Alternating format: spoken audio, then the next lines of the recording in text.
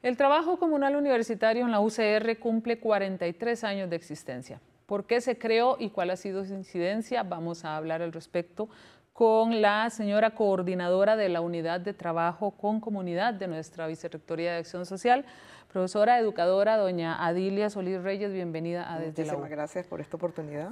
Doña Adilia, ¿por qué crea la Universidad de Costa Rica hace 43 años este trabajo comunal universitario con el que todos los que nos graduamos de aquí tenemos que cumplir?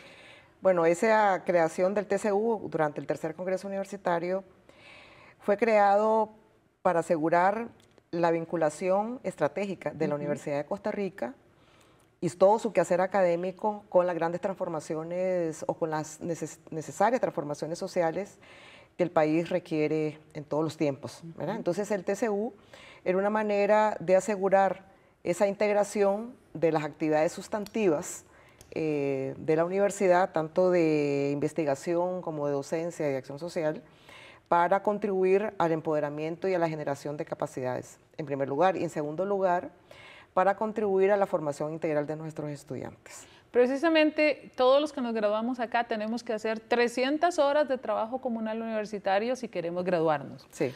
Hay gente que lo confunde un poco con ir y ayudar y ser asistencialista en comunidades. No es eso, va mucho más allá de eso.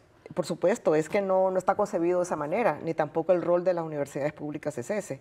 En primer lugar, contribuye a la formación integral.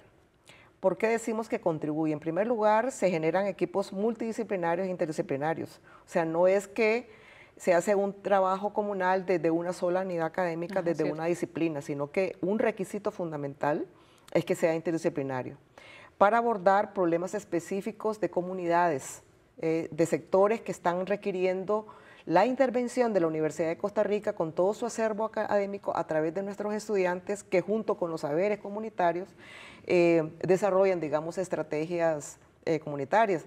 Entonces, nuestros estudiantes y nuestras estudiantes aprendemos a trabajar con otras disciplinas, a ver la realidad desde diferentes perspectivas y a mm, escuchar eh, a la comunidad, a los diferentes sectores de la comunidad y generar propuestas desde su disciplina, pero en articulación con las otras. Precisamente este diálogo de saberes, que decía un anterior vicerrector acá en la, universidad, eh, le aporta también entonces conocimientos sobre la realidad y demás a los que estamos acá estudiando. claro, es que, es que la universidad tiene que formar, y esa es su, su razón de ser, su misión, eh, la formación de profesionales comprometidos eh, con el país, o sea, comprometido con los valores de derechos humanos, con los valores democráticos de Costa Rica.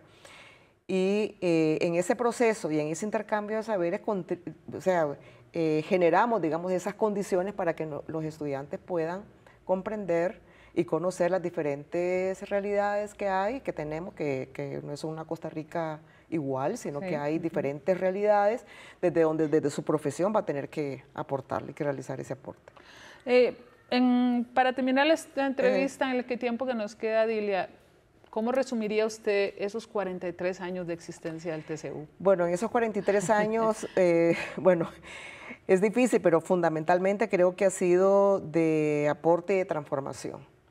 Eh, son 170 trabajos comunales universitarios que en este momento están vigentes. Solo en este año 70 nuevos TCU se, han abierto y distintos problemas eh, sociales han sido posible eh, generar un abordaje además que la misma universidad se nutre de esta información para la transformación. Entonces, por eso creo que el TCU contribuye a una mayor formación, repito, a un mayor compromiso de parte del profesional que he forjado en la Universidad de Costa Rica y le da una mayor pertinencia a toda la propuesta educativa que tiene la Universidad de Costa Rica, porque también se nutre de, ese, de esos saberes, digamos, que son analizados y transformados a través de estos programas de, trabajo comunal universitario. Muy bien, Adilia. Eh, felicitarlos por estos 43 años. Yo que soy también graduada de esta universidad, viví en carne propia lo importante que es participar en un trabajo comunal universitario con compañeros de otras carreras para abordar un tema o una situación y darles una solución y aprender nosotros también de eso. Así que a ustedes en su casa y a cuyos padres pronto andarán por acá en la Universidad de Costa Rica, cuando ellos vayan a graduarse, también tendrán que cumplir con estas 300 horas de trabajo comunal universitario y les aseguro que les será de gran utilidad en la formación integral que ellos tienen y que es precisamente lo que caracteriza a nuestras universidades públicas, ¿verdad? De entregarle al país profesionales con criticidad, profesionales que no les es ajeno lo que sucede en el país. Adilia, muchísimas gracias. gusto. A ustedes en su casa, nos vemos a la vuelta de una semana. Invitarlos a que sigan en la sintonía de canal UCR. Y ya saben, nos vemos en la próxima edición de Desde la U con mucho de lo bueno, como lo que es el trabajo comunal universitario de nuestra universidad, que se genera desde la UCR para el bienestar de nuestro país.